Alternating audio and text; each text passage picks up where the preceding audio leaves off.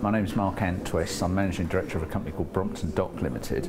And what we provide is cycle hire for the Brompton folding bike in docking stations around the UK, which people can access by registering on a website and then using their mobile phone to send a text to take a bike out, keep it as long as they want, and they're charged when they take the bike back. So it's a fully automated, easy access system.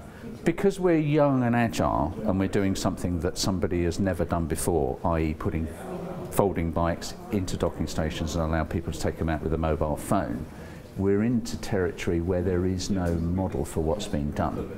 So my leadership style is very much a case of we're a small team, we talk to each other all the time, and everybody can express what they think and come up with ideas and also question everything that's being done to make sure that we're not going down blind alleys of doing things in a way that other people have already done it. So we had to come up with lots of creative ways of starting the business.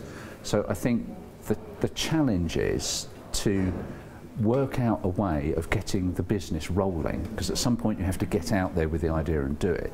The challenge is to think of ways of getting the business rolling that doesn't require all the normal channels that you would expect, like lots of market research and heaps and heaps of funding. So the one piece of advice I would give to somebody who's an uh, aspiring entrepreneur is never give up because it does require dogged determination and sometimes it can take years and years and years for it to come to fruition.